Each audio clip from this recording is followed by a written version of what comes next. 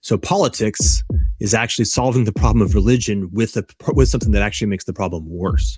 Uh, at least politics when adopted in this fashion. It's not necessarily intrinsically uh, a, uh, a religion replacement. It's more of a community replacement. Mm. Um, but in any event, it definitely makes the problem worse.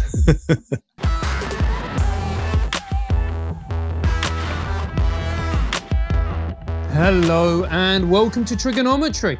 I'm Francis Foster. I'm Konstantin Kisin. And this is a show for you if you want honest conversations with fascinating people. Now, as you know, we spend a lot of time talking about the culture war, and today we have someone who can actually take us a level above that and look at some of the bigger processes that are happening under all of that. Jordan Hall, welcome to Triggernometry.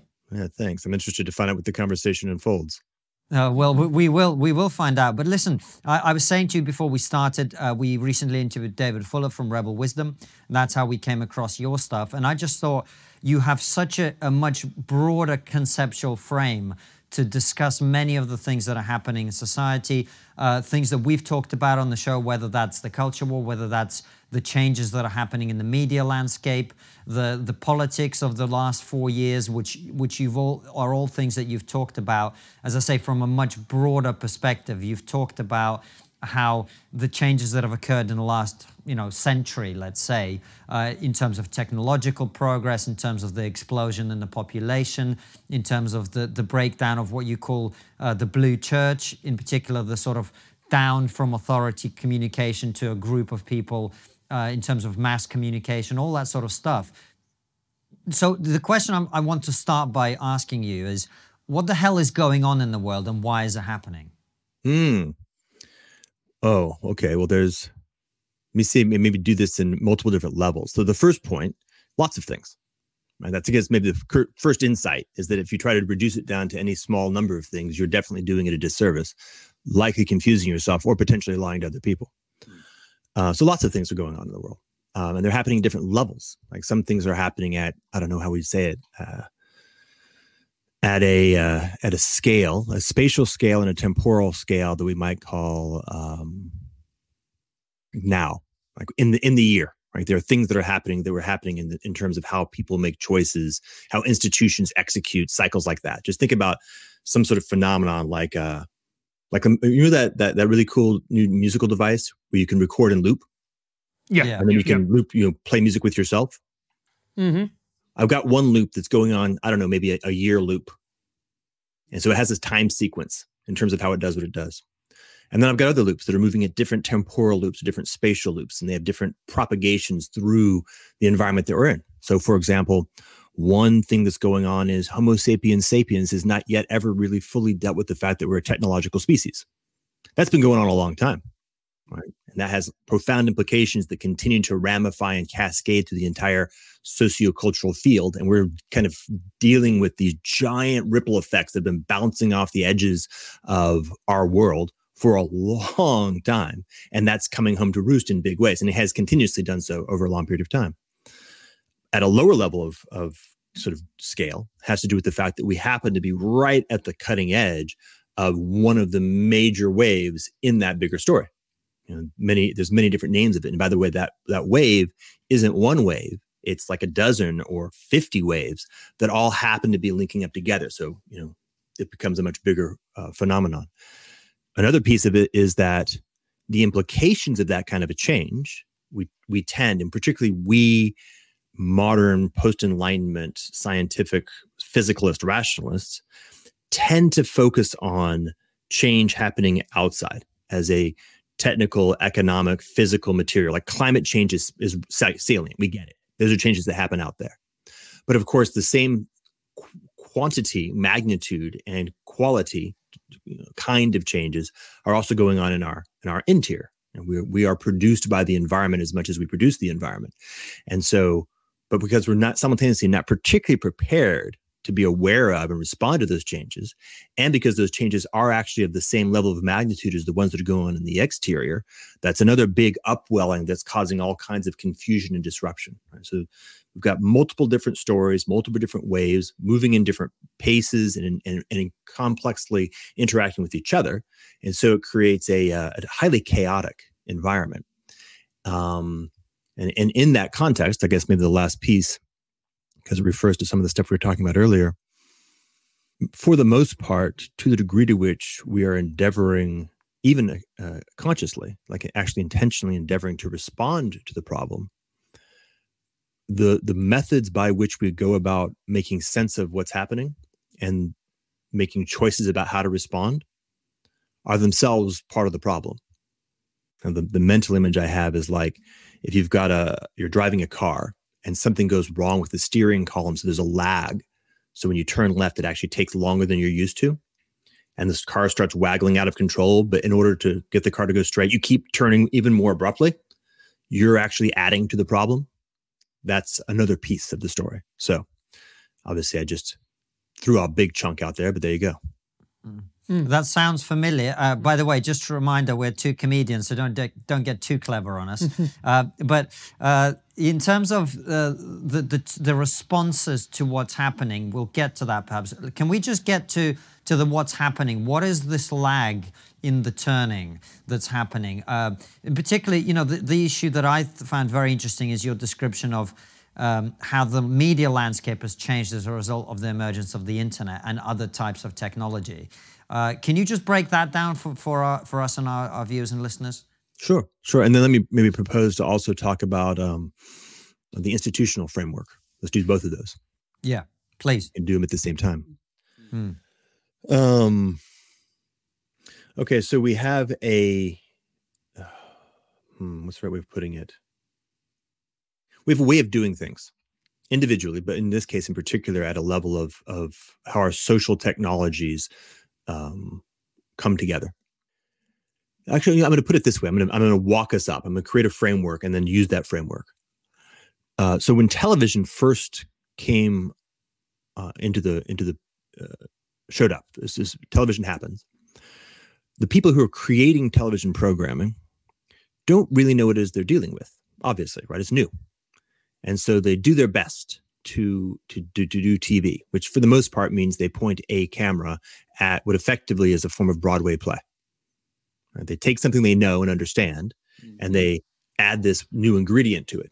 Thus begins, though, an actual experiment, an actual learning of the nature of the underlying new thing that has a bunch of different characteristics. For example, uh, unlike a Broadway play in television, you can have two cameras and you can mm-hmm. cut back and forth and force the viewer to actually shift that perspective. Right? You actually can control the territory the viewer's attention is focused on in a way in a play you cannot. And of course, you can do that not just in terms of, of visual perspective, you can do it in terms of time. I can do, I can cut back and forth in time very easily, um, et cetera, et cetera. There's all kinds of things that happen as we begin to explore the actual characteristics of the novel milieu of television. By the way, the same thing is actually happening on the part of the audience. You know, the audience that's watching early, early TV hasn't yet understood what it is they're watching. So they're experiencing something. But as the audience becomes more and more sophisticated, they begin to build a storehouse of, say, for example, what TV tropes are. And it becomes a new vocabulary, a new vernacular. So in a certain sense, context begins to show up. Like you hear the the chords of music that is playing in the background, and your body is like, oh, now I'm supposed to feel that it's dramatic, for example. And so there's actually a really interesting co-developmental process of understanding what the potentials of the medium are and the relationship between creative expression and perception in that context that builds more and more capacity to actually move into this new place. Okay. So that's a, that's a framework. So we enter into a new media landscape naively and usually by treating it as if it's the old one. Then we learn how to build uh, competencies and capacities as both perceiver and, and receiver in that new media landscape. And then we're sort of operating in that fashion. Then a new one comes along. Okay. So this is true also in a broader context. If I'm looking at, for example, how um, how governance works, one of the challenges of governance in in the 20th century, actually for a very long period of time, but in the 20th century in particular, is that you're dealing with very large populations, more or less, uh, generally over large geographic regions, oftentimes with meaningful diversity and heterogeneity of cultural um, assumptions. And yet, we need to find some way to get them all to more or less agree on a relatively narrow set of choices. And uh, so we have two things going on simultaneously that tend, by the way, to uh, reinforce each other. Uh, as television, for example, uh, emerged in the mid century, governance began to learn how it can use television to do the thing that it needs to do, which is ultimately to create a what's called a cybernetic control structure. I don't mean that necessarily as a negative. You know, a, the previous example of a steering wheel is a form of cybernetic control structure. It's how I can use my uh, intelligence and agency to uh, to control, to to steer some kind of underlying system. And so even the concepts of, by the way, cybernetics happen to emerge in that time frame. So it's a little bit, a little bit of self-referentiality there. Um, and so by the time you get to the 90s, and, at least in the United States, I don't actually know what the specifics are in uh, your place. We get to a place where governance had become quite TV native, meaning both the tools and techniques, the approaches, the understandings, the habits, the unconscious instincts, and also the possibilities and capacities of what actually could be effectively managed and steered through this particular modality, and an audience that had been prepared. For example, I remember very clearly as a eight or 10 year old, my dad would turn on the nightly news every night. Local news. Why? It was his civic duty. He had been trained to watched the local news every night as part of a civic duty, which is to say he plugged into the cybernetic control structure mediated through television.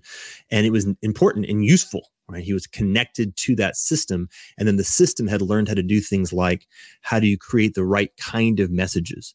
How do you shape the, you know what the Overton window is? Yeah. Mm-hmm. How do you shape the Overton window so that it's broad enough that people feel like they're getting a a real consideration of what's happening, but also narrow enough that that actually causing choices to happen within the bandwidth that we have as choice makers is also feasible, like that kind of stuff. But of course, as we enter into the 90s, we also enter into the emergence of an entirely new media landscape, this new digital media, this interactive, digital, um, highly uh, decentralized or distributed landscape comes online, which has completely different characteristics than broadcast television. You know, instead of being, for example, in, in, in America three channels. It is, in fact, an infinite number of channels. And instead of having the characteristic of temporal flow with no memory, like, you know, right, right when I'm watching the nightly news up until the invention of like TiVo, it was just gone, right? The second it, the moment had passed, that moment was in the past. And so memory was very much not part of the story. Uh, what was a part of the story was what gets my attention now and what leaves a felt sense of, of making good good choices. Okay, it feels like we're doing okay. That's it. That's the only memory I've got. We can kind of vaguely refer to things that happened to the past, but hard to know exactly. Obviously, in the digital environment, the internet never forgets. You know, to the degree to which you guys choose to broadcast this video, it will then be a durable trace that 10,000 years from now, assuming somebody has the capacity to to sort of do digital technology, it'll still be there. It can be rewound and looked at second by second. Um, and uh, of course, highly decentralized, meaning that uh, you guys didn't have to ask anybody's meaningful permission to begin the process of actually creating a new form of communications channel.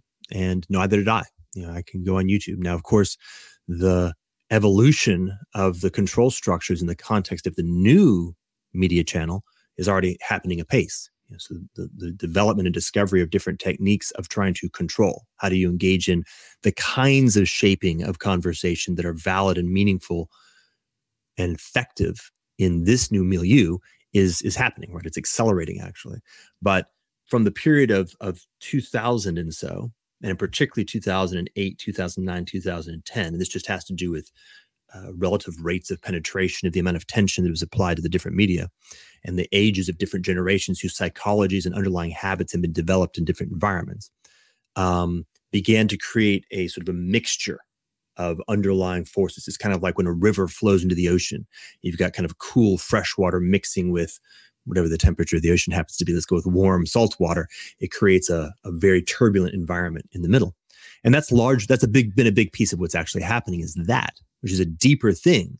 Now we see lots of stuff happening at a more superficial level, which doesn't mean, by the way, that it's not relevant. It just means that it's happening at a, at a different level of, of uh, causation and scale. But in many cases, uh, a deeper cause is what I was just describing. We can, by the way, there's an arbitrary, we could go weeks on just that and pulling pieces of that out if we'd like.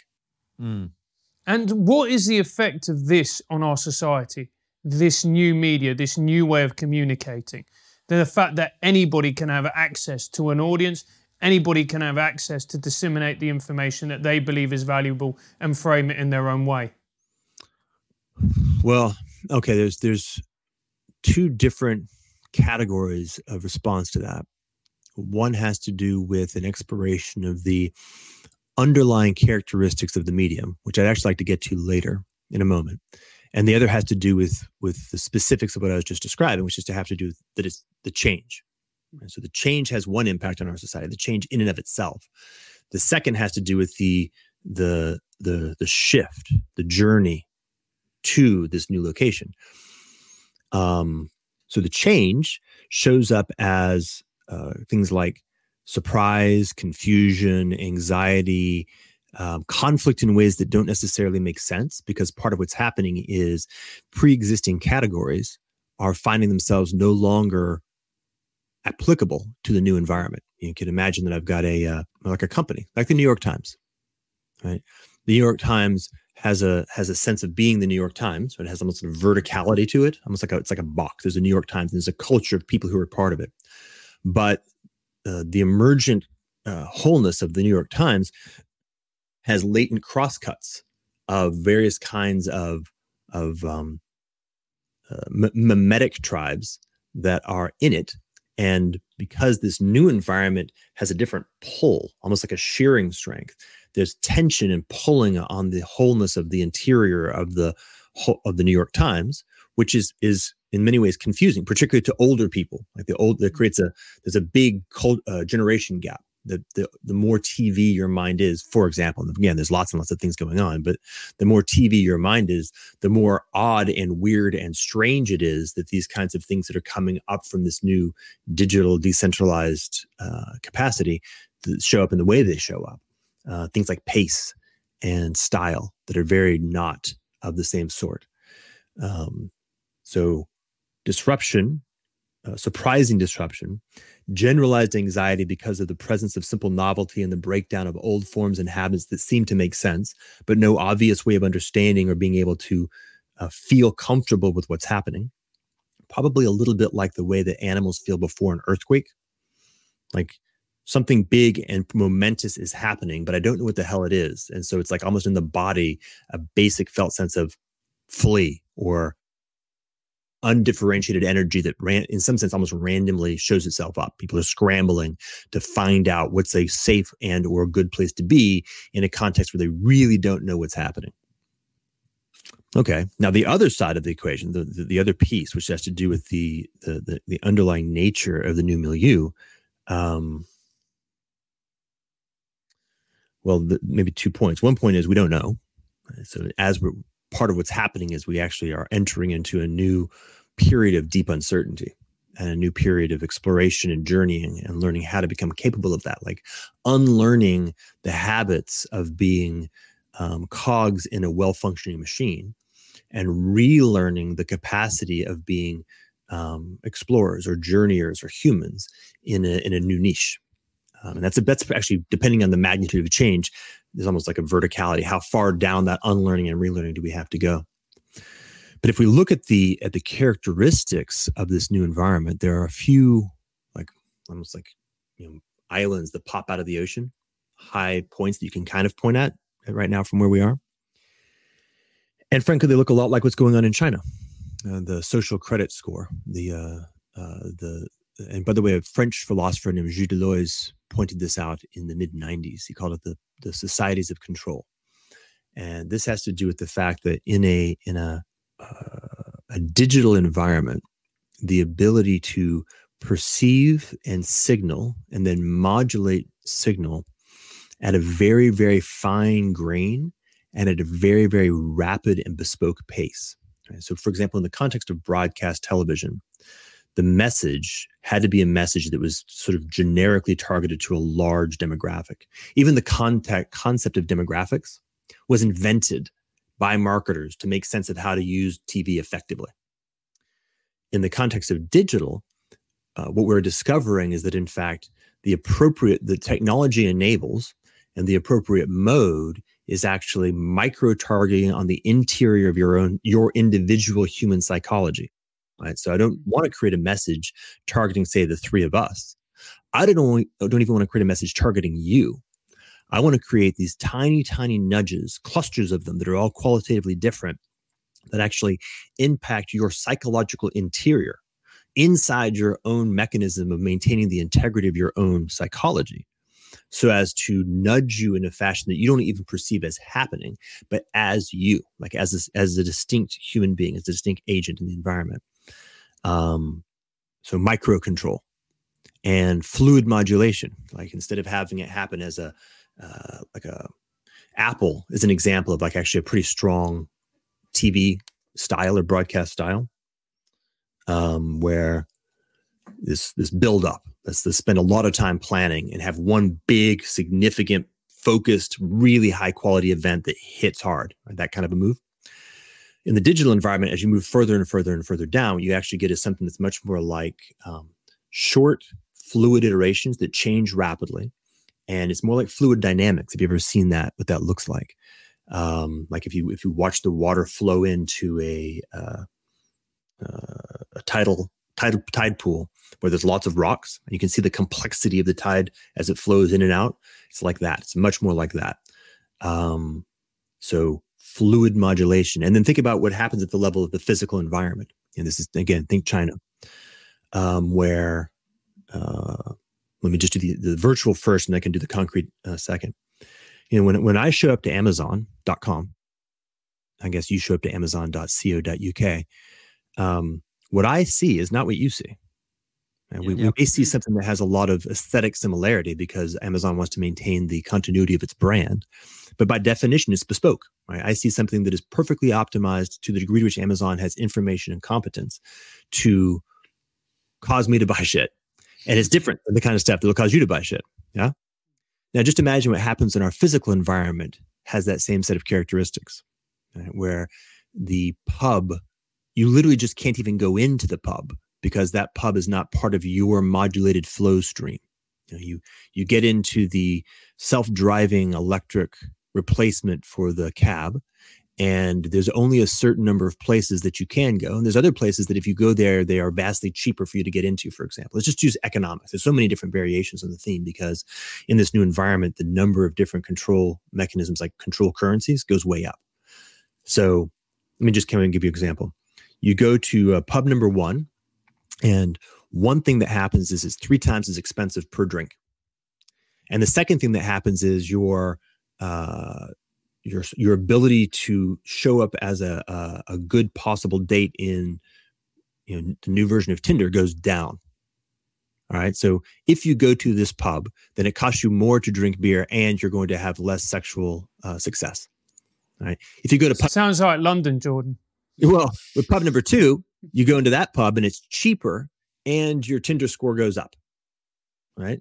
Well, you're almost everybody is just going to flow to pub number two. Um, well, guess what? We now have very bespoke, and that's just two currencies, by the way, two powerful ones, money and sex. But there's many, many more, right? And the idea is that in this novel digital environment, the capacity for that exists. How exactly it shows up, who knows? And by the way, it'll probably show up differentially depending on exactly how the design, what ends up designing or controlling the design of that control structure. You know, the Chinese version will look very different than, say, for example, the EU version, although not, as far as I can tell, radically different.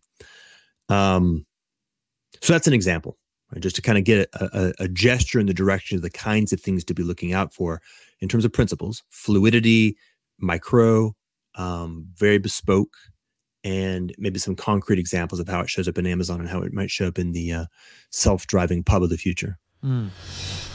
Do you have a website or do you plan to have a website? Well, if you do, then EasyDNS are the company for you. EasyDNS is the perfect domain name registrar provider and web host for you. They have a track record of standing up for their clients, whether it be cancel culture, deplatform attacks, or overzealous government agencies. He knows a bit about that. So will you in a second. EasyDNS have rock solid network infrastructure and incredible customer support. They're in your corner no matter what the world throws at you, unless it's your ex girlfriend, in which case you're on your own. You'd know about that.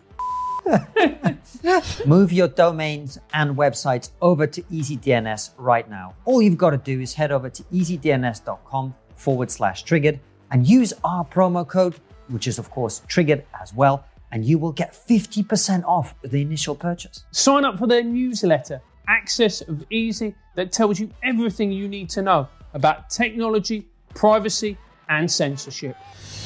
Uh, Jordan, so basically, at the moment, we all have our ver- own virtual reality, and I'm fully aware of this. Like, I know that wh- when I am writing a joke, let's say as a comedian, or making a tweet that I want to make a certain point, if I'm referencing something, there's quite a large portion of other people who have no idea what the hell I'm talking about because they've got their own Twitter, right?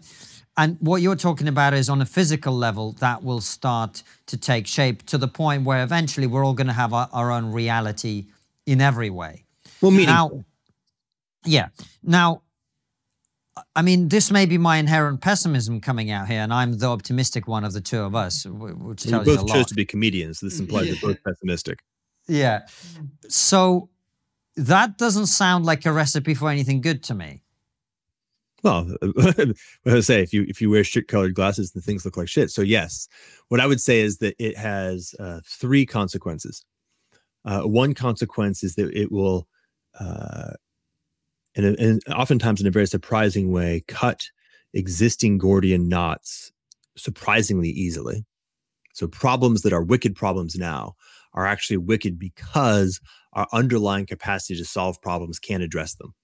But this new mode will have different ways of addressing problems, and quite often will actually end up just evaporating uh, problems that right now feel very intractable. So, for example, maybe climate change turns out to be trivially solved in this new environment. How so? Perhaps. Well, if I can imagine something like uh, if I if I have a a, a, a currency structure, hmm. Do you want me to go down? There? I can do it if you'd like. Uh, if you can do it in a brief and understandable way, that would be great. Well, I can't vouch say for understandable, uh, particularly when endeav- endeavoring to do it briefly. It's something like imagine if we had the capacity, and in fact, we kind of do. Imagine we had the capacity to identify every single uh, externality that our current supply chains threw into the environment. That makes sense. Yeah. Imagine if we we we tracked it down to the granular level at every single transformation across the supply chain, and then imagine if we if we use that information to drive the control structure that was nudging people's behavior at a very fine grained level. For example, I'll just use a, a slightly different one than climate change. Let's just go with litter. All right. I don't know if you guys do people smoke in England. Um, we, I mean, Yeah, I mean, some people do Some still. people Yeah, do. yeah, it's yeah. very retro, Jordan. Well, back back when I was uh, younger, people smoked a lot, and one of the things I noticed as a kid is you'd go to the park and sit at a park bench, and there were uh, cigarette butts everywhere. Yeah. Well, imagine if every single cigarette comes with an RFID tag attached to it, and every single purchase of cigarettes actually immediately identifies the individual human being who last owned it. So that when you throw the cigarette butt away, it shows up on a database as your cigarette butt that's on the ground and negatively impacts your social currency score to the point where nobody litters anymore. For example, right? Now, just generalize that across all possible externalities. We could sort of extinguish pollution to the degree to which we have the competence to actually track it effectively. So that would be an example. Okay. Um, That makes sense. So that's the first type of. uh, r- r- So it will be good for that. And also, by the way, you know, when I said it'll all be negative, obviously the ability to fulfill human desires, wishes, needs, etc., will be multiplied manyfold because you're getting a super tailored service. It's not all bad. Agreed. well, that's, this is the point. It opens up new opportunities and creates new problems. That's it. Right, but but the the reason that I was saying it, it, there's nothing good, I didn't mean that there's nothing good. What I meant was, if you are in an environment where everybody lives increasingly in their own reality, the the lack of understanding of other people and the potential for tribalism that comes out of that to me is quite scary. Yeah, I th- if you sort of, I don't mean by any means to poo-poo the the the, the challenges. Quite quite the opposite. Um, the maybe even a better way of putting it is, every time we enter into a new enter a new technology into our environment, we unlock uh, both opportunities and risks. The more powerful the technology, the more powerful the opportunities, and the more powerful the risks. this particular set of technologies is several orders of magnitude more powerful than anything we've ever unlocked before. And therefore, the risks are several orders of magnitude larger. Um, and in this case, they're several orders of magnitude larger because actually of the micro nature. You know, the nuclear bomb back in the late in the mid-century was big, dangerous, powerful, but very macro. And it was a, a, a you know only a, for for most of the time only two countries meaningfully had the, the, the ability to use it at all, and still I think it's something like six or seven. Uh, and highly high con- constrained. One event, nuclear bomb, and that's a concentrated, very salient risk. It's kind of easy to focus your attention on it.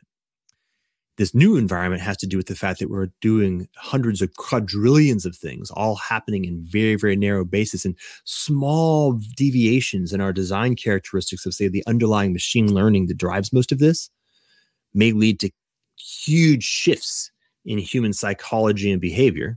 And we don't even vaguely have the capacity to predict any of that right now. So, for example, that's actually a, a deeper version of what you just said. Um, but broadly speaking, something like Huh. Actually, it's funny. So, uh, a, a radical divergence or radical heterogeneity of worlds is simultaneously the best possible and the worst possible scenario that we can I can currently imagine. On the one hand, uh, creative potential exists as the connection between heterogeneous worlds. You and I can actually have meaningful, useful, delightful, creative experiences in relationship precisely because we inhabit different worlds. And to the degree to which we are inhabiting different worlds, our ability to communicate, our ability to actually connect and be in relationship at all, the numbers of mistakes and errors and misunderstandings that we will have also goes way, way up. So it becomes harder and harder to maintain quality relationships. Um, and a large part of what's happening right now is precisely that. You know, we're using a toolkit that of, of, of relationality like say on Twitter, mm. that has an underlying assumption of shared context, when in fact that's not even vaguely true. Yeah. So we're, we're running this, you know, something that assumes shared context and projects it on the other. And then what's really happening is the other's actually got a completely different context. By the way, not just deep context, but even moment to moment context, as you say. Like I'm reading five Twitter feeds and have a certain context. You're reading five Twitter feeds. The only one that's vaguely the same is the one that we happen to be on right now. And even that is a different context. And of course, you put 128 characters into your tweet, which is a minuscule amount of context to provide to me. And I respond with 128 characters, which is a minuscule amount of context to respond to you. The implication, of course, being either we both have to be quite wise, like quite, quite mature and skillful at understanding the nuance and subtlety of what happens when two beings from very different worlds with very little context are in communication or we're going to make lots of mistakes. And Jordan, to me, this is it's it's a very worrying conversation because how are you able to mitigate the worst effects of a type of technology if you don't know what the downsides and the dangers of this technology are? Aren't you just simply stumbling blind into into a, you know a situation which you have no control over? I would actually go more along the lines of I don't know, uh, snow skiing at a breakneck speed, blind through that environment with a complete uh, and completely inebriated, something like that. that the magnitude of the risk is quite high. Yeah, uh, but but part of that is say, okay, well, if that's the metaphor, mm. stop drinking, sober the fuck up, take off the skis, and walk down the goddamn mountain. Right? So that's what, so what does that look like? What does that look like in this context? Ah, well, this is interesting. a big part of it actually starts with uh, three things. You know, it's almost like you can go to AA. You know, first admit you've got a problem. You first actually recognize that this is the case. You know, you have to slow down enough to actually, whoa, oh shit, I am uh, speeding down a mountain at breakneck speed, totally inebriated. I maybe that's not the best place to become conscious, to restore yourself to a con- being a conscious agent in the world. That'd be the first step. Uh, and of course, most people find themselves careening about an unconscious reaction and an increasing addiction to careening about an unconscious reaction. So that's not a small step. The next step is to begin the process of carefully disconnecting yourself from this from the things in your context to which you are most addicted and beginning to to give yourself permission to go as slowly as you need to to be able to actually make effective choices on a moment to moment basis. Now, this is very challenging if you have anything vaguely like an ethical commitment to the well being of other people or the world because you will be slowing down and disconnecting while you're watching everything around you get worse and worse and potentially catastrophically so. And this is a, a tricky business to be able to, to choose to say, okay, well, shoot, I can say with some degree of confidence and clarity that the path that we're on is not going to work and that I can't solve the path. I can't get the car out of its skid by increasingly jerking back and forth on the steering wheel. The best thing to do is, in fact, to take my foot off the brake, take my hand, you know, stop steering, and slow down until I notice some new groove, something that shows up where ah, effective choice just happened. This is that going down. I don't know if you guys are all familiar with something called Theory U. No, No. I'm not particularly uh, familiar with it, but it's somewhat known.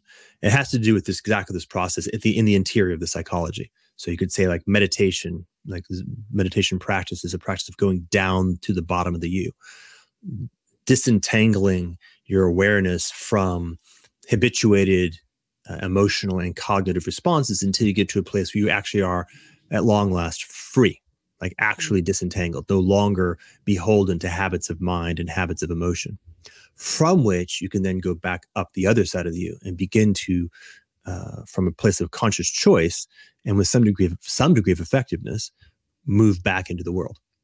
Uh, one metaphor that I think is actually quite salient is a little bit like uh, from The Matrix, the movie, Mhm. uh, where uh, first Neo had to choose to take, I think it's the red pill, right? Yeah, unfortunately, an awfully overcoded metaphor now, but you get it. Um, which is to say, to acknowledge you've got a problem. Then what he discovers is that his ass was actually um, a uh, a body that doesn't even know how to walk or basically even move. You know, entirely run a virtual simulator. His own agency is actually effectively nil, and it gets unplugged from that entire structure. He went goes to the bottom of the U somewhat abruptly.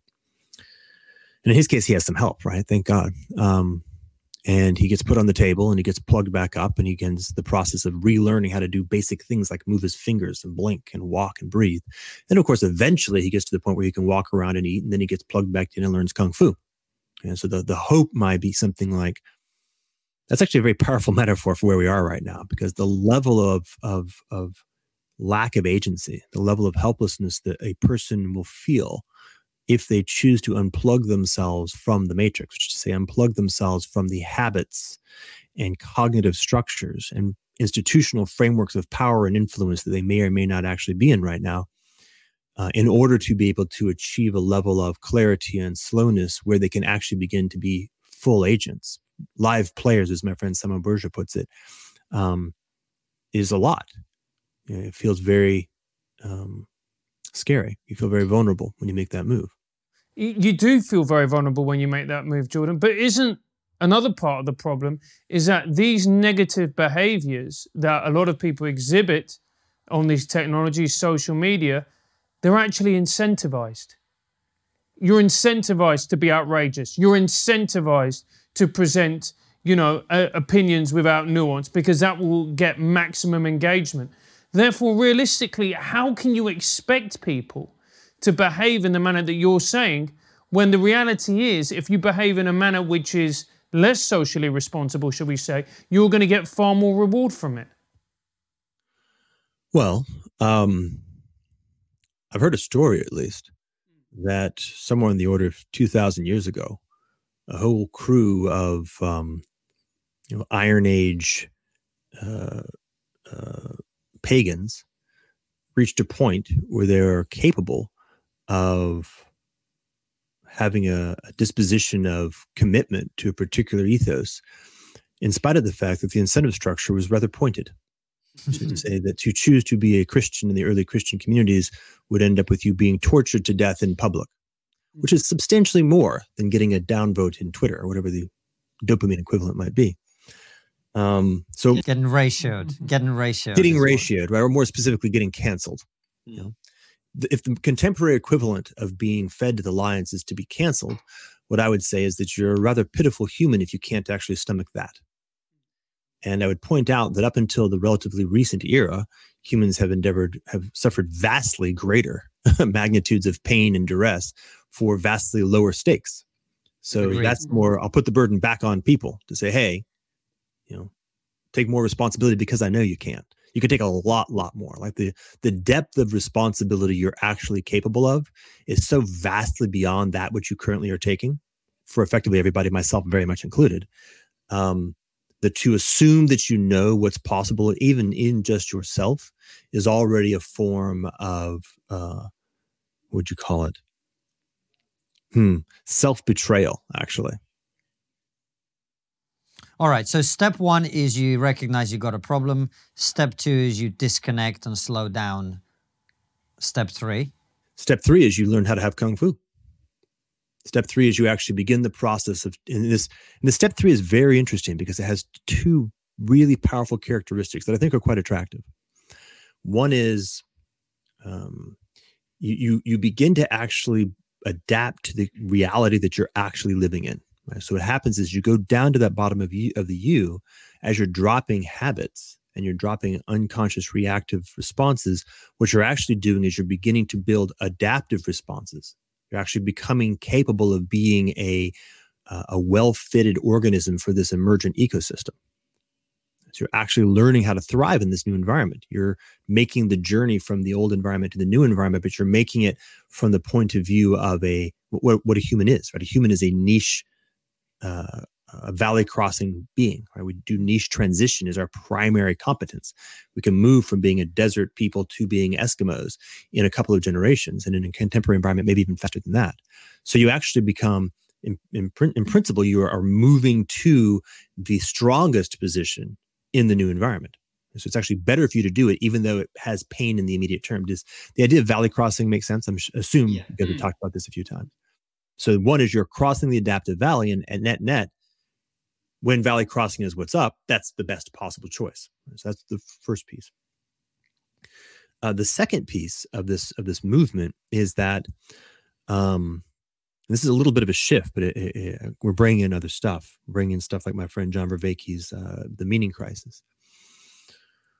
One of the implications of the environment that we have been in is that it has traded authentic meaning for simulacra of meaning uh, at a very high rate. Um, and also, as that environment that we've been in is breaking down, we're left simultaneously with neither the authentic meaning nor the simulacra of meaning. And now we feel the pain of, of how deeply foregone we are, more uh, with, with, less ability to avoid it. So again, back to the addict model. Right? Mm-hmm. You're an addict uh, as long as you are t- on the junk, your real meaningful life can break down, but you don't quite have to own up to it because the junk can simulate the feeling of winning. But when you get off the junk, you feel simultaneously the loss of the junk and the acute pain of the destruction of the life that you actually left behind. Okay. But as you come up the other side of the U, you are now in recovery. You are now in a process where you can actually begin to reconnect with actual meaningfulness in life as a human. And so as you begin to walk your way up on the other side of the valley, not only do you achieve a higher level of actual competence in thriving in this new environment, you also can achieve higher levels of actual lived felt meaning in a fashion that is um, you know, durable and strong. So this is all very much sort of good news on the other side of the journey. Um, so that's what it looks like in step three, but it's uh, slow and frustrating, and you'll fall down quite a few times.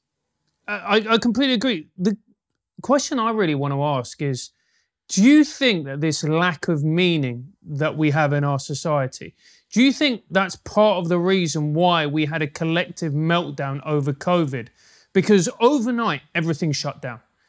All our, all our industries, everything that we judge ourselves by, everything that in the Western world gives us meanings, we were all sent back to our rooms metaphorically to think about what we've done, to quote a comedian. And all of a sudden, we realize that our lives don't have as much meaning as we once prescribed to them. hence this huge crisis that we now face. Yeah, well, that's definitely a big part of it. Can I actually hit two different um Go for it. pluck two strings right there? Because the word meaning has a really interesting double meaning, right? Hmm. in the sense of means to an end, how to get shit done, and in the sense of like this felt sense that I have uh, the capacity to live my life in a thriving way. Right? Both of those. And I would say, on the one hand, the uh, the extraordinary how is this extraordinarily uniform and catastrophic bungling of the management of the COVID crisis reveals the degree to which we lack meaning in the sense of competence to respond to our environment. Right. So one is a uh, oh shit. Turns out we have we, we actually are terrible. Our our socio political choice making infrastructure is quite terrible. We didn't know it. It wasn't ob- we, we felt it. We knew it, but we didn't have to face up to it until it really hit us in the face. That's one side of it, which has a demoralizing effect. Like oh shit, we actually are not in control of our own destiny. We got nothing that can possibly save us. And in fact, every time we externalize our agency to one of these institutions, we realize with regret that it was a bad choice. Right? So that's one side of it. And the other side of it is exactly as you say. And we, we, in fact, have been profoundly addicted to a whole structure of little tiny simulacra that have been trading in for real meaningfulness. And then many of those, all at once, not all of them, got sucked out. And of course, what's interesting is that for the most part, there was a bifurcation event. Almost everybody sought as rapidly as possible to plug into a new set of addictions. In Netflix is a good example. If you found yourself binge watching Netflix, what that meant was you needed another addiction, right? You just shifted from heroin to cocaine, um, or maybe the other way around. And that's another sign. So, broadly speaking, yes. Mm. Uh, Jordan, it's interesting. For me, I plugged into my family, my relationship, and also the work we do here. But uh, I was going to ask you about the work we do here because you're sort of making me question quite a bit of of everything in the sense that you know our show is a political and cultural discussion show. We talk about the political events. We interview people about, as I said, the culture war, uh, cultural things like that. And at the same time, I've had the sense for a long time that politics ruins everything right? Yeah. Uh, and one of the the subjects that we've talked about somewhat, neither of us is religious, but neither of us can help but notice the fact that the, the as as we've killed God as a society, that's opened up a vacuum. And when you talk about meaning, I, would argue religion gave people that meaning for, for a period of time. Now it seems to be politics. And now not only is it politics that fills that void for many people, but also because of that, politics is now becoming a religion. It's becoming religious. The, people act about their political views as if they're articles of faith. And now, is that does that resonate with you? And what what what, what do you make of that? Yeah. So what comes up for me is that what I would say is something like um, God, nature, family, community, and authentic self. Something like that are like the uh, the five fingers of meaning, and we have in fact alienated ourselves from all of those uh, and rather substantially. Uh, and the one at the very end, authentic self, is the base root from which all the rest has to happen. And so that's where the bottom of the U comes. It's like, okay, shit, I am not my identity, for example. I am not my narratives and my stories. I'm also not my trauma. There's something that is more fundamental that is still there always. Some might call it soul if you choose to use that language. And when you get back to that place, from that place, you can begin the process of now entering into renewed relationship of meaningfulness across the other huh, four fingers. Um, then you said, okay, so then what happens is, ah, this is actually this this this notion of bad satisfiers. This is actually from uh, the anthropological literature. Max Neef. Uh, I'm thirsty. I drink a can of Coke. Terrible idea, but I mm-hmm. don't have the right tools. Something in my life has given me the wrong tools. So I keep actually getting in my own way. I actually solve the problem with something that actually makes the problem worse. So politics is actually solving the problem of religion with a, with something that actually makes the problem worse. Uh, at least politics when adopted in this fashion. It's not necessarily intrinsically uh, a uh, a religion replacement. It's more of a community replacement. Mm. Um, but in any event, it definitely makes the problem worse.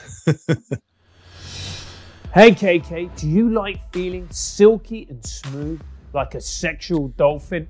Never talk to me again. What if I told you that Manscaped have brought out a new and improved Lawnmower 3.0 that allows you to be fresh and trim for the ladies down below? Mate, I've been married 20 years. The last time I was fresh and trim down below, Jimmy Savile was a respected children's entertainer. I'm going to ignore that. The lawnmower has a cutting edge ceramic blade which reduces the risk of having an accident where you least want an accident. My bank account. No, you idiot, you know.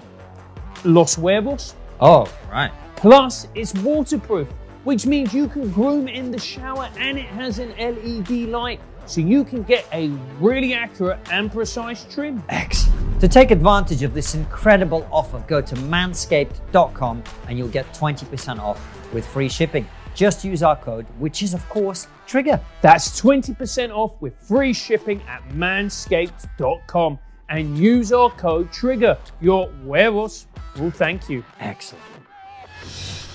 Jordan, you were also saying as well, and you identified, I can't remember. So you said family. The, what were the four things you identified? Uh, God, family- nature, family, community, and self. Isn't the problem that we live in a capitalist society and we can't monetize any of these? Therefore, we don't deem them to be important. Therefore, we don't focus on them. I would actually say quite the opposite. I would say the problem is that we live in a capitalist society and we ruthlessly monetize all of these as much as we possibly can. I call it the strip mining of the soul. Um, and so, for example, you know, monetization of of religion um, comes in the form of something like uh, Avengers Endgame, right? The mytho-poetic layer, which is deeply important for us to actually have uh, the kind of archetypal connections that allow us to govern our, our behavior over long timescales and deep events, has become a resource to be strip mined by increasingly uh, sort of super salient simulations. For example, um, the bar, the pub, you know that the, the the salient environment of conviviality is a simulacrum of real community, unless it actually happens to be connected to real community. In uh, I, I know that in many places in the UK, it actually is and has been for a thousand years. I'm talking about one in a place that doesn't have that characteristic. Right? We we replace community um, with the simulation of community. Uh, school, same thing. Right? School, in many cases, is a replacement for family and community. So, in each of these cases, by necessity, by the way, I wouldn't say that capitalism is, is the core. Capitalism is a piece of the entire environment. The bigger challenge is, is actually what I call the uh, the technologies of empire, which has to do with the. Um, well, do you want to know what the technologies of empire are, and then we can work backwards from there? Yeah. Yeah. Uh, so, so in relationship with with with literally the indigenous form of humanness, right? So I, I have to go all the way back to indigenous humaning. Um, and that's a whole capacity. So things like self and family and community and religion are are at the at their most natural all the way back there. Now, if, as I start moving through history, specifically into the zone of history, I enter into the to the era where the technologies of empire begin the process of building a different way of people being together. Uh, one of the technologies of empire is is narrative, and I'm distinct distinguish narrative from storytelling. Right? Narrative has a characteristic of formality, particularly when it's a written narrative, right? when it's written down, where there's something about the characteristic of the narrative, where the narrative has a reality, it has a uh, an authority that is strictly greater than the people who are telling the stories. Right? That's that's what narrative is, and control over the narrative. Things like ideology is a derivative of narrative, and to the degree to which your religion has become an ideology, it is an elision from its its more natural and healthy form into uh, an imperial form, and of course, is typically used for the purposes of maintaining structures of empire. Um, now, by the way, I would say democracy is a variation on empire, so it's important to. I'm not being narrowly focusing on, say, like the Roman Empire. I'm talking about a wide variety of structures, almost everything humans have done outside of the context of the indigenous mode.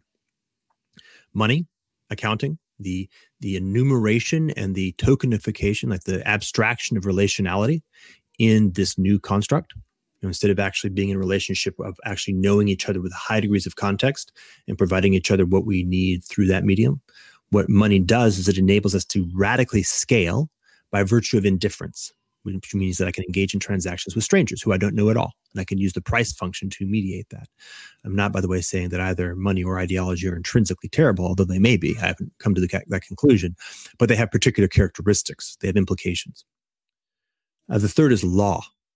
Right? The third is again is this notion of taking the lived relationships of real people within the context of their actual who they are, their developmental environment, and what's actually going on, and endeavoring to reify that into an abstraction, which can be characterized with a set of a finite set of statements, right? A legal code. Napoleon, of course, famously tried to enumerate all the way down to the detail, right? A very detailed code. Uh, the UK, on the other hand, actually stuck with more of a common law system for most, for the most part, which actually harkens back to an older, deeper form, a more indigenous form. Um, bureaucracy, um, the, the notion of formal institutional structures, and the idea that, for example, Joffrey, King Joffrey, has the power and deference of a king, even though literally everybody knows that he is the most um, disgusting human. Mm-hmm. because we've actually decided to put our responsibility and agency into an abstract formal structure as opposed to into the real human relationships, right? No indigenous culture would ever do that. That's absurd beyond comprehension. It's only when we move into this new mode, into this mode of empire, where that becomes possible because we're in fact dependent upon it you know, once you become addicted to empire, oh shit, I can't, I can't not give Joffrey the kingdom because to, the implication of that is the formal implication of the destruction of the entire social operating system that enables this widespread set of kingdoms to operate at all. Right, pulling even a little bit on that thread could pull away the whole sweater, and that, my friends, is chaos. So as you move a little bit down the historical arc into the constructs that happen under the technologies of empire, you find yourself in a circumstance where one, you're highly dependent upon them. There is no alternative. And psychologically, you even begin to become physically dependent upon them. Like you just learn, lose the capacity to navigate reality through any other modality, right? You learn how to do things like, um, you know, school largely is a training ground to navigate society as defined by the particular instantiation of the technologies of empire that happen to be the ones that you're developing in, for example. And that's why it exists. That's what it's for, is to train you to be able to pull those levers and be pushed by those buttons in the appropriate fashion and, and sort of become the right kind of automaton in that construct. Do you guys recall why I ended up going there? I lost the fork. Uh, you were talking about the, the tools of empire initially. Yeah. Uh, and uh, prior to that, there, there, had to do with what was the uh, I don't recall exactly, but actually, I was going to ask you a question about this, which I find really interesting anyway. Okay. Uh, uh, you're, you're tying in with some of uh, Yuval Noah Harari stuff there in terms of the, the. Are you familiar with his work? No. I, I know that he exists, and I know that people seem to think it's good. I have never actually read it. uh, well, one of the things he talks about is the way that human beings broke out from the indigenous state in which you could only live with about 150 other people in a small tribe. And one of the reasons Homo sapiens defeated all forms of other humanoids, uh, or humanids, whatever, whatever way you pronounce it. Hominids. Uh, hominids, yeah. In, in the battle of, of evolutionary success was not that they were bigger, stronger, or even necessarily more intelligent, necessarily, but rather that they were able to create shared myths that allowed them to band together in bands that were bigger than 150 people. And what you're talking about is essentially all the stuff we've had to do to be able to live in a society beyond our small tribe has consequences that we are now paying for, right? Yes. That's that's that what exactly you're really it. saying. Yeah. So what the hell did we do, Jordan? Well, well, now we're sort of in the point where, oh, I think this was actually branched from the point of view of something like politics.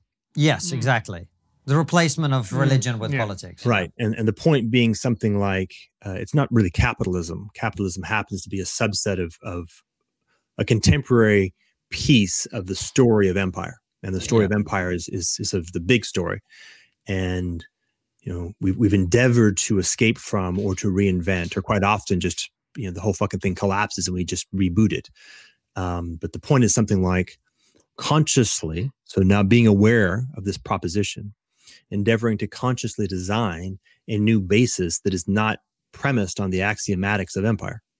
That would be what we have to do.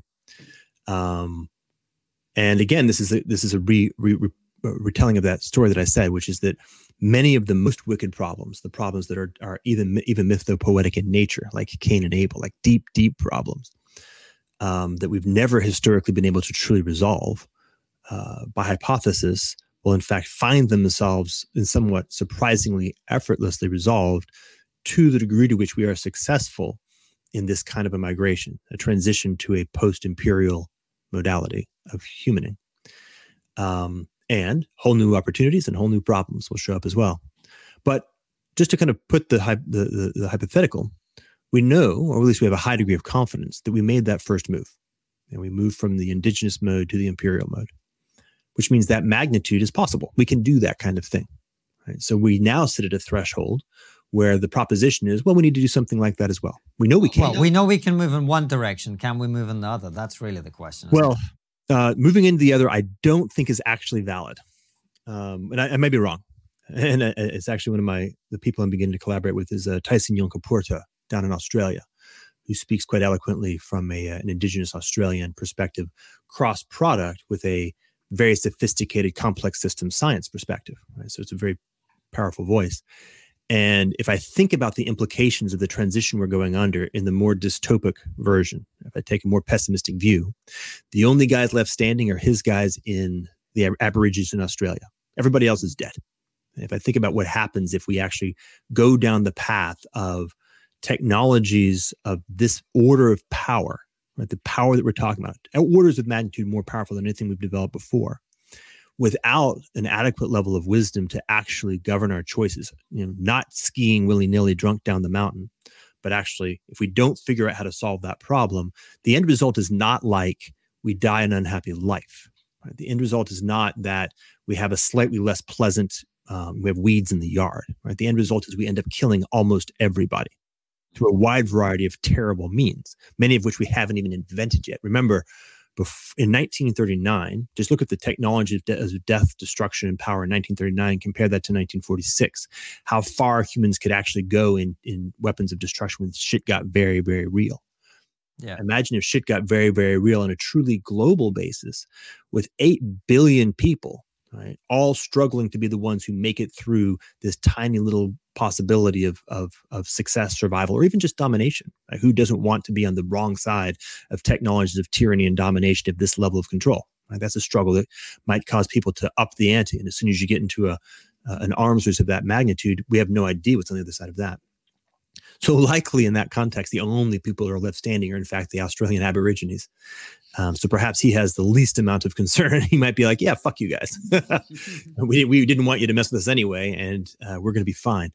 Um, so the other side of it is actually something like we actually have, from my point of view, we have to actually innovate something that is novel. It's not a going back. It's maybe recovering, a lot of remembering, and in many ways a going back for the purposes of going to the next place. That the going back is the right foundation from which to go to the next place. But the opportunity and the possibility at least for those who want to not end up just leaving the world to the Australian Aborigines and maybe some, you know, cool kinds of, of cybernetic mutants, um, is to figure out how to get to the next thing. Now, there's a group in England actually. I call it, I think they called Rethink X, um, who who speak about this in a very different way than I do. And I only discovered their stuff about a year ago, which is neat because it's quite convergent. Now, I suspect that we actually converge on what I just said. We may not. Um, but we converge on a lot of stuff. And one of their points is that even something as simple and prosaic as the notion of the fourth industrial revolution, if you think about the the the, the last three, and particularly the first two, and their implications for how society operated, what identity looked like, how human beings moved. You know, things like the the massive migration of the economy from like a 90% agricultural rural to a in, in many modern worlds, 90% urban and technical, for example, over a relatively brief period of time. If you think about the fourth industrial revolution and you propose that it actually has an order to magnitude more implication, more power, and that's just another way of saying what I just said. Right? The, the, we're just going through a shift. We're going through a, a move. We can't, in some sense, can't help it. We've already lit the lit the engine. Like it's it's going. We're riding it. The question is, how do we choose to find a way to steer it, or do we find ourselves flung willy nilly by wherever it happens to take us?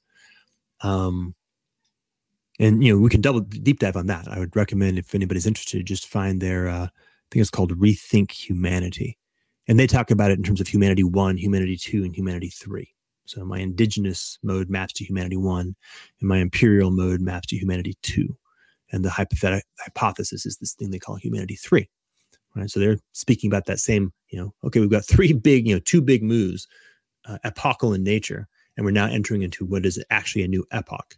So the way you navigate that first is you acknowledge that's what's up. You stop fucking around with things that couldn't possibly matter. It's a little bit like you're sitting there on the dock, and I think it's Dover. I don't really know. Sorry. What's what's like? On, where did the Titanic take off from? Uh, it went from Belfast originally. Oh, okay. Yeah, it was built in Belfast. The Irish like to keep it quiet. right. So the, it, you're sitting in Belfast, getting ready to get on the Titanic, and for whatever reason, you happen to actually know with a high degree of confidence that it's going to be uh, exactly that trip, but you're choosing to actually dick around with the uh, you know the cocktail napkins on your on your table. That, that's from my point of view. When I look at the notion of what's going on in terms of politics right now, that's the frame that I see. Hey guys, guess what? This ship is going to crash, and almost everybody's going to die quite horribly. All we have to really do is not do that. Like just not run into the iceberg. Can we maybe steer a little bit different or maybe not leave? There's all kinds of possibilities. Not quite sure what it is but what really has to happen is enough people on the ship have to stop being focusing on the trivialities that they've been trained to focus on by 19th century society. And by the way humans developing in the context of 19th century society and and just maybe look collectively at the possibility that there's an iceberg out there something like that that's the hardest what, part. Well, the hardest part, yeah, I, I see that. The, the, I guess the the reason people, well, I agree with you. Uh, first of all, people are addicted to politics. Second, it's entertainment. Mm. Third, it, it, whatever. But equally, since to a large degree what we do with the ship depends on the decisions made by politicians, at least that that's the argument. Uh, then I've got myself, haven't I? I? have got myself, haven't I? I could see that the flaw in my own argument as I was making it. Um, okay, so so what what should we focus on? Yeah, well, it's, like like this is another simple example. Uh, there's like this great memes that have these images, but but simultaneously imagining that you are dependent upon the choices of a bunch of buffoons, mm-hmm. and or that you can rely on a bunch of buffoons to steer your life effectively is a rather foolish place to be. Now, acknowledge for reasons of history, these particular buffoons have been handed the crown of Joffrey. All right, well, that's a real problem. I'm not saying that that's not the case. We can't naively or stupidly, I don't know, what are these Antifa now climbing on walls and painting on bricks? That is a naive and stupid recognition of the actual underlying reality. They are correct in their assessment that endeavoring to either be governed by or, um, well, to be governed by buffoons is, is not going to work. Unfortunately, they are still reactively engaging in poor strategies and tactics. Right? The right response is to actually slow down, like it's the same story all the time. Acknowledge, recognize, okay, shit, Biden's not going to save us, or whoever happens to be in charge of the UK right now. Um, well, he's definitely not going to save us. yeah, he's definitely not going to save you. No, no. Boris is anything. Yeah, no. Uh, well, let's not go there. Yeah, Boris is not going to save you, right? Boris no. is not going to save us. No, I think that's fair to say. And you know, again, th- there are things that have happened in history that we know Right? Their possibilities are real. There are real possibilities to do things. It is not the case that we must only vote between Trump and Biden. That's not the reality of the circumstance that we find ourselves in. It's a form of addiction. It's a, it's a form of learned helplessness motivated by a deeper anxiety around taking that level of responsibility and being overwhelmed with it preemptively. Right? Does that make sense what I just said? Yep. Yep. Right if you if you really can't deal with something out that's 10 steps down the road but you try all at once to imagine dealing with it you'll have a stack overflow and you'll become demoralized preemptively and then you won't take the first step. You've got to identify what is a first step that is a right step. It's a step that is actually a healthy effective step in the right direction that you can take and then you have to take it. Right? Mm-hmm. that's in some sense simply put not trivial and just being able to orient and discern the distinction between what is a random move and what is at least a vaguely move, a vaguely positive move in the right direction. But also the courage to take that step is usually not small. Right? It's going to be a pretty big one. And then you got to figure out from that new place, which is going to be a very different perspective because now you've changed. Something about you has changed in the movement of this step. It's mostly a, an individual transformation is a big piece of it. Then what's the next step? And then the next step, and then the next step, and then the hope. And by the way, pure hope right? It's not that we are dependent upon the captain of the ship. At the end of the day, we're dependent upon everybody on the ship. If enough people on the ship say, hey guys, we need to start dealing with the ship differently, then the captain and whatever, the crew will ultimately say, okay, I get it. Even if it turns out we have to grab them and like, you know, convince them that they are no longer actually in charge of the ship. This is the weird thing, right? This goes back to that notion of learned helplessness, learned formality. At the end of the day, it isn't the way that it is. Now, okay, next, you know, we can, we can make lots of cool little tactical moves. Yeah, but they have the guns. All right, fair enough, but they aren't even real. Like Boris doesn't have any guns. If he does, he's not very dangerous. he ostensibly can command people who have guns, but those people are people. And there are also, by the way, many, many people. It's not like the, it's like like the army is a is a thing. Right? The army is a bunch of people.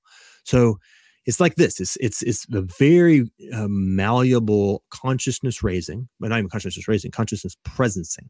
You know, moving from being an unconscious automaton, merely habitually reacting in some trained and uh, amygdala hijacked way, to having a conscious responsibility for the choices that you're making. And then the process of progressively becoming more capable in yourself and more and more with other people to have broader strategic competence. Actually call this uh, sovereignty three or sovereignty. You know, sovereignty two was this notion of it's not the God king, it's these nation states. Sovereignty three is not something that is invoked upon you by virtue of being. It's actually something that you build. It's a it's a it's actual competence, the ability to actually take responsibility for more and more effective choices in more and more contexts. And that's it. Like we're on a journey of of that, of that shift. But let's go back. Let's be very like let's be hopeful. Um, there's a breakdown. Right? The old modes of power are very obsolete. They're big. They control everything right now, but they're also degrading rapidly. They're rather stupid and they don't have any real clue to how to use the new modes of power well. And to a large extent, they inhibit themselves from doing so because they know that the intrinsics of these new modes of power are antithetical to their own nature. And so they kind of don't push the ball as far as they could. So, to the degree to which one chooses to, to become competent, I remember that that journey involved two things re- reconnecting with meaningfulness, but also becoming that kind of organism that was most able to explore this new landscape and become adaptive to the real environment. To the degree to which you adopt that, you will in fact discover new forms of potency and power that lay ambient in the potential of the new environment that have not yet even vaguely uh, been discovered. And you can begin to leverage that. And we're sitting on the threshold of a major transition. Well, by by definition, that tra- transition involves access to power that dwarfs the power before it. So all the power that you may find yourself facing and be a little bit inhibited by isn't actually the meaningful part. The meaningful part is what's the power that lives beyond the far horizon? And can you become capable of actually forming the kind of collective, the kind of group, a group of people who can who can trade with each other and connect with each other and communicate with each other, avoiding a lot of the problems that we were talking about earlier. So we can make it very practical. You just learn how to have real conversations on Twitter. It's possible. it can happen. Try that as just a basic rule. And, and the hypothesis is this one, there's three points here. One is you're no longer adding to the noise. So that's like an mm. ethical first do no harm. If you can just uh, inhibit yourself mm. from contributing evil to the world, that's a good thing. It's going to take some work for me. for everybody. And it may involve the break, right? Just stop. Uh, or, or habits. Don't do it while you're drunk. Uh, two, uh, you're you're also in, in, that in that in the act of doing that, avoiding harm to yourself. Hmm. As you know, like it, it's it's actually bad for you to engage in that. But three, much more importantly, literally everybody who you find is also participating in that. Every relationship that you can have, every communication that you can have that actually is generative in the context of Twitter, that is building increasing competence of how to do it, whether it's happening just in you or in the relationship, in the people you're interacting with, or in the context of the larger story of people being able to perceive it, is building a new kind of collaboration. Yeah. That is the discovery, the autocatalytic discovery of what a decentralized collective intelligence that is driven by a wisdom commons, that's a whole bunch of terms, actually looks like. Right? The new form of governance that is simultaneously um, most adaptive to the new environment, but also generates the most positive use of that power without killing everybody. And there's a very specific eye of the needle that you can thread. But the path that I'm describing, the, the, the methodology that I'm proposing, I believe is in fact the one that, that gets us there individually and collectively. But that was absolutely outstanding. And hopefully, hopefully, Jordan, we're going to be able to get there. Thank you so much for coming on the show. If people want to be able to find you, where is the best place to do that online, ironically enough? well, uh, YouTube is uh, where I've done most of my stuff recently because I found that I've gotten a little bit demoralized and lazy around writing. For a period of about three years, I wrote a number of pieces on Medium that are still there, except for the one on QAnon that they censored. Um, and I, I feel like I'm probably going to begin writing again on Substack just to see how that feels. I promise I will never create a paywall. That's not the point. Um, uh, but that's pretty much it. I don't really have, other than that, I don't really have much of an online presence. Jordan, before we ask your last question, I'm just curious if you don't mind me asking, and if you're not happy to answer it, we'll just cut it out. Uh, what do you do day to day? Um, well, I'm a parent. I have a two year old. So um, I engage in parenting. I spend time with my with my wife. I I have a new practice that I really enjoyed quite a bit. Is I I have a there she is. there she is. Almost there she goes. Um, I have a hot tub in my backyard, and I, I make myself an espresso or a, particular kind of beverage that's espresso based, uh, and then actually sit in the hot tub with my coffee and meditate. That sounds incredible. You're nailing it. It's really good. It's it's amazing. Um, and then it depends, right? Oftentimes I'll have one or two conversations with people, some of whom I know, some of whom are new people. Um, oftentimes I actually think about things like this, like I'd say probably about three three hours a day contemplating some variation on this theme, which is quite complicated. It's a lot of stuff. Yeah. Uh, recently, I've actually been focusing on uh, cryptocurrency and the blockchain mm. because it's uh, it's relevant now. Like sometimes it's not, and sometimes it is, and it's in a process right now of gathering more potential energy. And so, it it will be hmm, how do I say this right? It's like a it's like a it's a part of of the journey. It's definitely not the end, but it's part of it. And Absolutely. particularly the part where we shift power from old structures to new structures. Yeah. It is already good. It's going to be part of the new structures that have a lot of power. I expect that it will also go away in a surprisingly rapid time, but in the order of like 10 to 20 years, not like two or three. Um, and so sensing that and being able to navigate, uh, like, okay, where are the trim tabs that can have the most positive influence at the highest level? and also at different levels would be an example of something that I'll spend time on when that kind of a what I call a kairos or a, an event that has lots of moment now emerges. Mm. Well, very interesting. Listen, thanks so much for coming on. And as always, we have one final question for you. Which is always what's the one thing we're not talking about, but we really should be? Whew. Um, I knew you'd react like that. Yeah, that's a tricky one, particularly given how much we've just talked about. Mm. Yeah. Well, I, I'm I'm wondering, and I don't really know, but the thing that I, that I, I would imagine or, or I, I suspect would be something like a phrase that popped into my head a while ago was pay more attention to the ones you love. So the question that you may not be talking about that you should be is who do I love that I'm not paying enough attention to? Maybe that at the very least, if you if you ask that question, it's probably a very good one to ask. It is. Jordan Hall, thank you so much for coming on. Uh, all the links uh, to Jordan's YouTube channel and all that good stuff will be in the description. Thank you for watching. Uh, yeah, maybe don't be so addicted to politics. I don't know. Uh, we'll see you very soon with another brilliant interview about politics. 7 p.m. UK time. They all go out. Uh, take care and see you soon. Take care, guys, and get off Twitter.